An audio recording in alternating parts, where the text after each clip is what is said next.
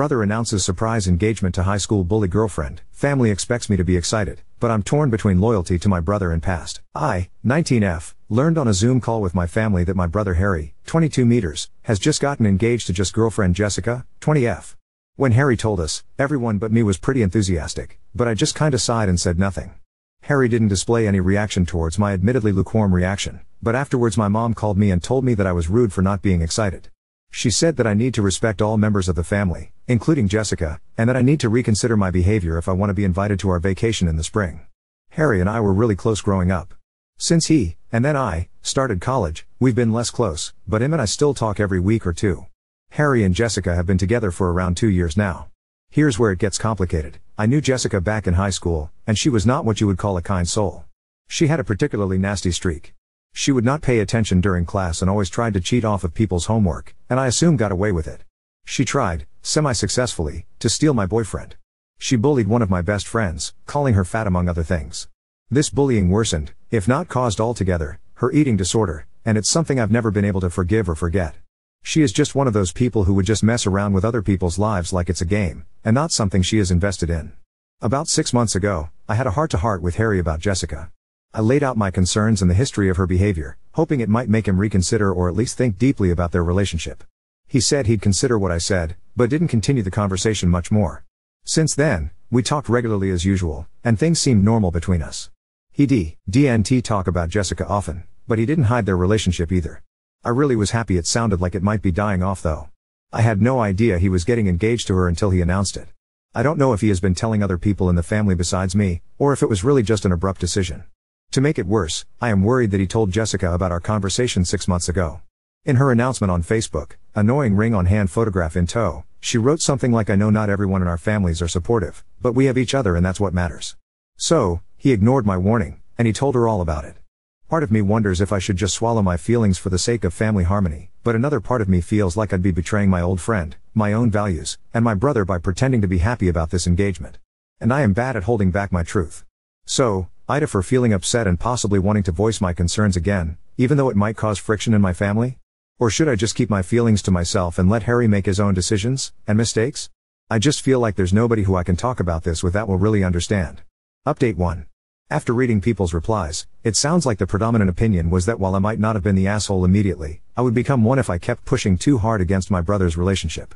And I really don't want Harry to think I don't support him, or to not talk to me about personal relationship matters. So, I pretty much had decided to keep quiet and just go along with whatever Harry wanted. On Tuesday, he messaged me asking if I want to be a bridesmaid, in Jessica's wedding party, or a groomsmaid, in his wedding party. After a little bit of back and forth, it became clear that he asked me because he knew I wasn't totally keen on Jessica, but still wanted me involved with the wedding. I was trying to be supportive so I said it would be great to get to know Jessica better by being a bridesmaid, though I wasn't exactly looking forward to the experience. I admit though, I had a little bit of an ulterior motive. From what I know of Jessica, she completely changes how she acts based on who she is around, which is how she manipulated Harry into proposing, of course. I thought that, just maybe, if I could show Harry how Jessica acts with her girls, he might reconsider his decision to marry her. Anyway, on Thursday I got added to a Facebook Messenger chat named Brilliant Bridal Bitch Bitches wherein Jessica laid out her ground rules for being in the bridal party. They are, almost verbatim, 1.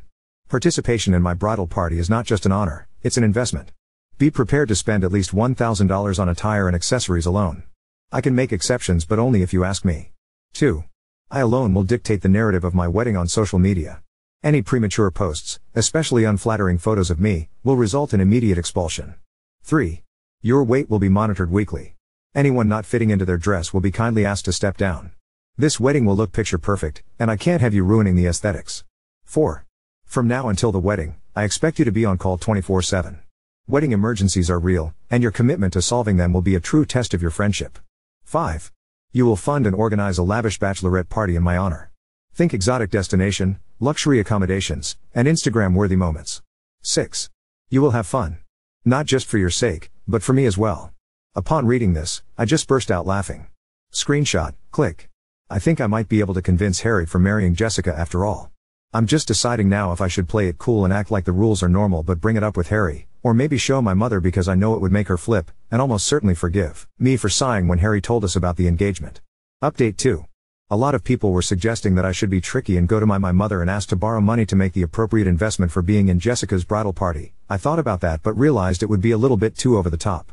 So, instead, I just sent a screenshot of Jessica's rules, and a couple other insane things she posted in the group chat, to Harry and asked for his advice, telling him I know I said that I wanted to join the bridal party to get to know Jessica better, but I'm worried it might not actually be good for me.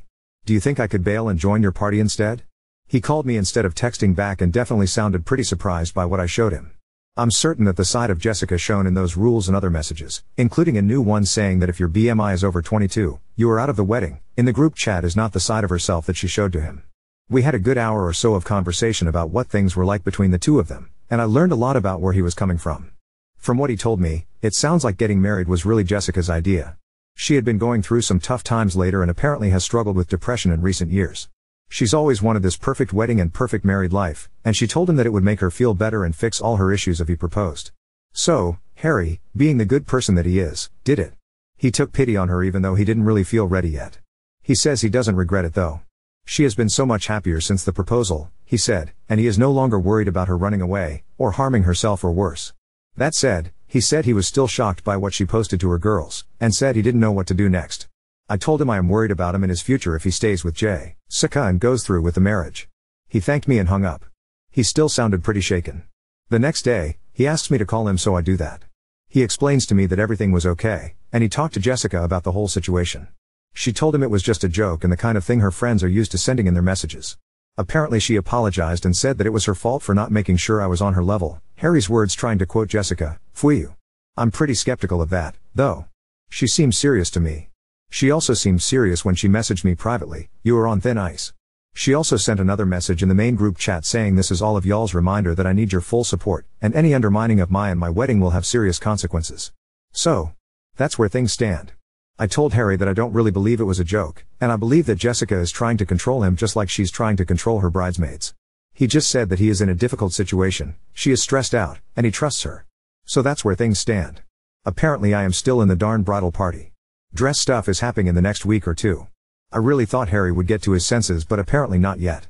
Now I need to decide what the heck to do next. Update 3. I'm the girl who is in a messed up situation with my brother who proposed to his really not good girlfriend who I know from school. And, until recently, I was a member of her bridal party. Warning that this is dark and mentions suicide. So, the update, I had time at home for spring break, so I finally showed my mom the text messages from Jessica in person, including the insane list of rules for the bridal party and her follow-up message to me saying I was on thin ice after I told my brother. My mom seriously broke down. She didn't apologize for being mad at me when I wasn't pleased to hear the news from the H. Happy couple, but at least she doesn't seem to hold it against me. Aside from that though, I am honestly surprised mom took it as seriously as she did I thought she would say something more like well, it's his life, instead of butting in. Anyway, mom called Harry right away to talk to him. I asked her to put it on speakerphone and she did after a bit. I think that the combination of my own warnings, plus our mom's sheer exasperation at the whole situation finally caused Harry to come to his senses.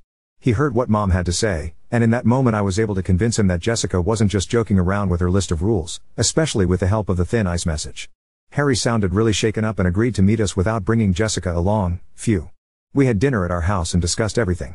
To him, it sounds like he was more in love with Jessica six months ago than he is today.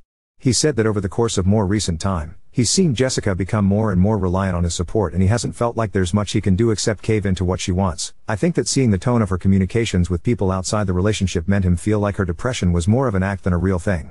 I'm not a psychologist so I can't say how real that is, but I could believe it. Harry and our mom cried for a while and then came up with a plan for Harry to call off the engagement and begin to move out over the next few days. He went home and we stayed in close contact for a while. He told us he was feeling ready and did tell her that he needed to reevaluate some things on his own. Apparently, she did not take it well. Harry stopped responding to us for a day and a half and then called me. Jessica had begun saying that she had nothing to live for except Harry, and that if he abandoned her after all this time then she would have no reason to keep existing. Harry just cried on the phone and said he f felt so trapped. I didn't even know what to tell him.